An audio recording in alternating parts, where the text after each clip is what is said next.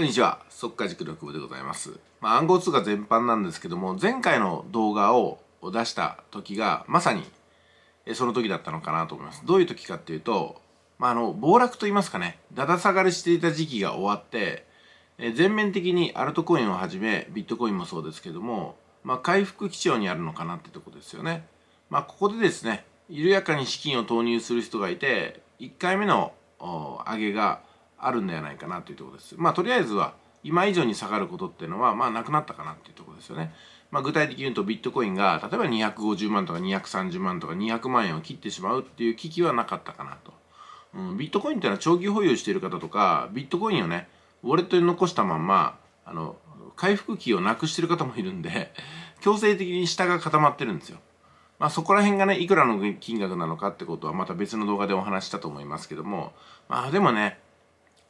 仮に100万円終わったとしたら、これはね、これはこれで買いのチャンスなんですよ。うん、やっぱ100万円終わったら私はまたね、買うと思いますね。ななんせ平均取得単価66万ですから、さすがに200万円以下で買う気にはなりませんけども、100万円を切ったらね、もう一発仕込んでもいいかなと思います。まあそれは今まで多くの場面で利益確定してきた資金がありますんで、購入は可能なんですよね。まあただ、ここまでで資金を失っちゃった方っていうのは、まあ、相当な資産家かビジネスマンでない限りもう追加資金はこりごりでしょう。こういった心理的な圧力もあります。何回やられても資金的に回復しやすいやつ人っていうのはチャンスをまたね生かすことができるんですけどもだから相当資金をやられてる人ってチャンスがチャンスに見えなくなるわけですよ。でそういった意味も込めて、うん、まあ慎重に進めるべきだよって一つの言葉になっちゃうんですけどね。で私が思うのは毎月毎月何らかの余剰資金が入る形を作った上で投資に挑むのがいいのではないかなと思うわけですよね。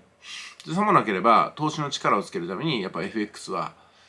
最低限マスターしておいた方がいいかなってところですね。それが全てのスタートラインだと思います。さあ、今回の体のエダなんですけども、またリピさんに動画を送っていただきました。まあ、こういった動画を通じて学んでいくことも大事なんですが、残念ながらね、こういった動画で学ぶことは本当に地道でですね、ほとんどの人がやりません。ですんでまた失敗と損を繰り返すんだと思います。